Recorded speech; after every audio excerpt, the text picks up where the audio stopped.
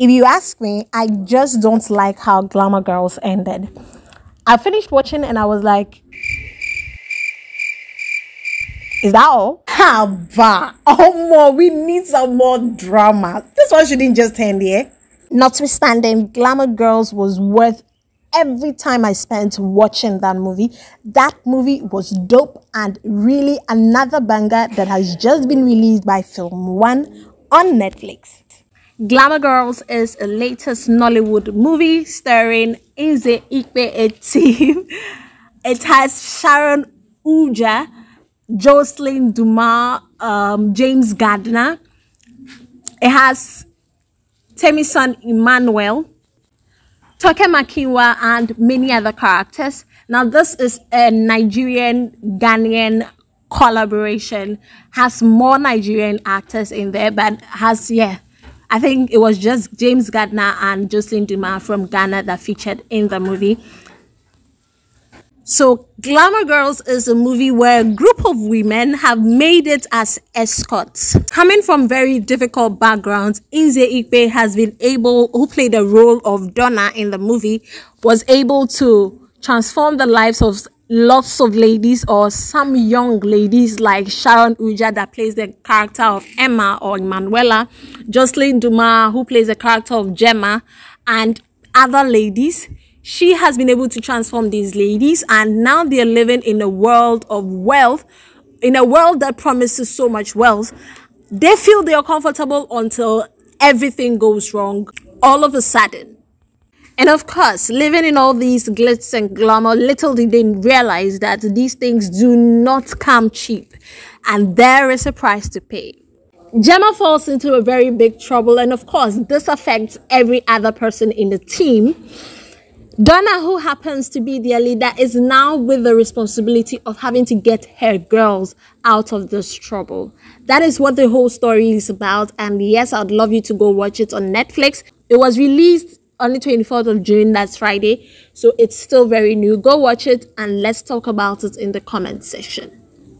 Now, what were the parts I loved so much in the movie? The, the whole part that got me into the movie was the part where from the beginning i just really didn't like it because okay i it was it was a bit of glitz and glamour but had a lot of girls doing some things i just wasn't so much pleased with until um Gem, uh, emma finds herself into trouble and loses her first job falsely accused for something and she yes she loses her first job and yes she finds herself looking for another job that that was the climax for me I, I was that was what put me into the movie.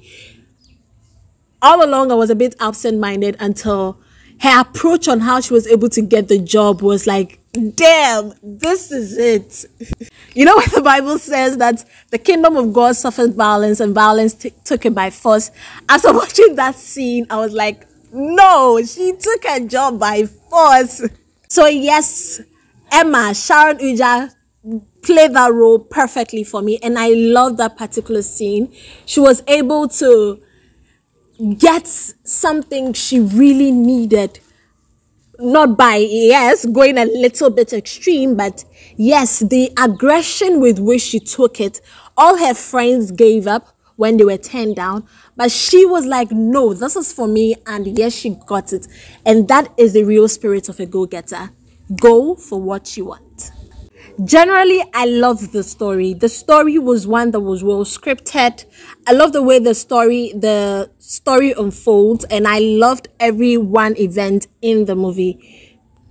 It has a storyline that is not so difficult to grasp and fall in love with or to understand. It is very soft on you and you're able to get the story as it unfolds.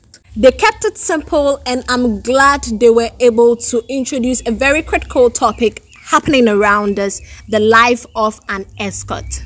One character that super impressed me in the movie was Sharon Ooja. Sharon Ooja was one of the escorts and I loved her whole character. She was one of the major characters, uh, major escorts that had the spotlights on her. I loved how her life started. She had to play a bit ragged in the story and yes, she she played that role so well. Points where she has to act all ghetto you realize that she does it with so much flair that it doesn't look like she's faking it. It looks like she's actually from the ghetto. The Sharon Ooja we know is not one that is so ragged, is one that is very flexible, like the character she played in Skinny Girl in Transit as Shaliwa. She was all girly, all, yes, all city like. But when she had to play the character as a ragged, ghetto girl who was so desperate to make it. Yes, I loved I love the language she came in with. It was one that she didn't really have to force, that looked like it came just naturally. And yes, I applaud Sharon for that. Personally, I just felt some of the plots were rushed. Some of the characters were just taken out so needlessly. And I just felt there was so, there was, there was more we needed to explore with these characters if they needed to make it a series, yeah, it's welcomed, but they needed to really digest every plot and i know not everyone would be able to go deep deep deep deep into but at least we needed to feel more of it because if it is necessary to the development of the play or the to the development of the movie then i just feel those scenes or those plots were supposed to be developed.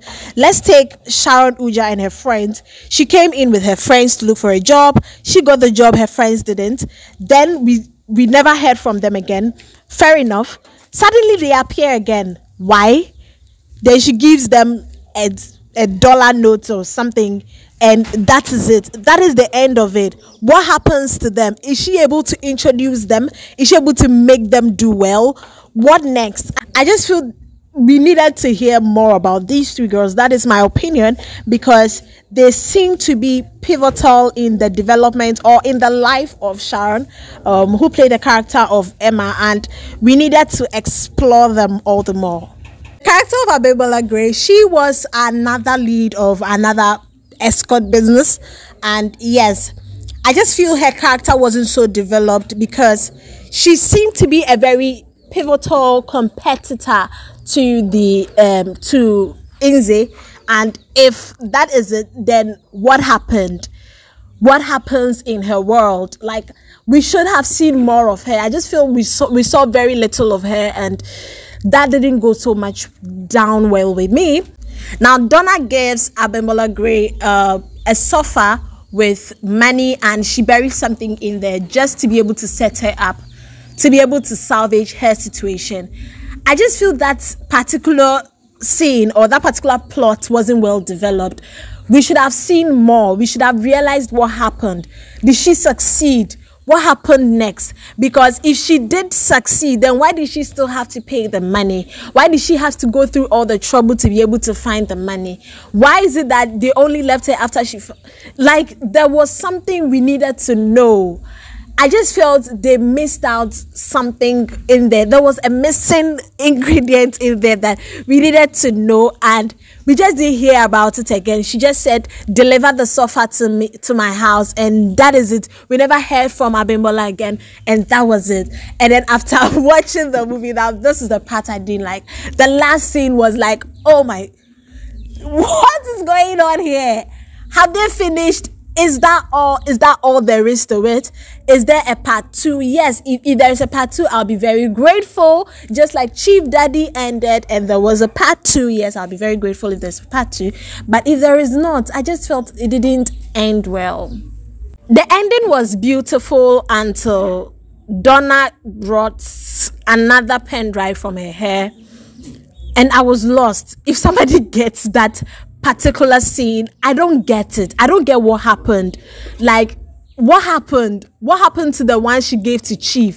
Where from this pen drive? Is it that she gave because she was able to confirm? Is it that she splitted the money? What happened? I don't get it. I didn't get the ending personally. I'm still trying to find somebody that would explain it to me. If if you will, if you don't, if you do get it yet, you can drop it in the comment section, and I'll definitely go back to watch to ex- to get it myself because I didn't get the ending. The whole ending was Yes, it was beautiful up until Chief left, Chief and his boys left. And I was like, okay, if it ends there, then that's fine. If it had ended there, then I won't be asking for more. But if it, if it goes beyond that, then I'm like, we need more. We need to know more. And yes, I'll be expecting a part two of glamour girls. I'll be all for today. If there is something i left out something i feel to mention do drop it in the comment section and i definitely would have an interaction with you there. The name still remains Maame Abena Kindly hit the subscribe button and let's grow this channel. Screw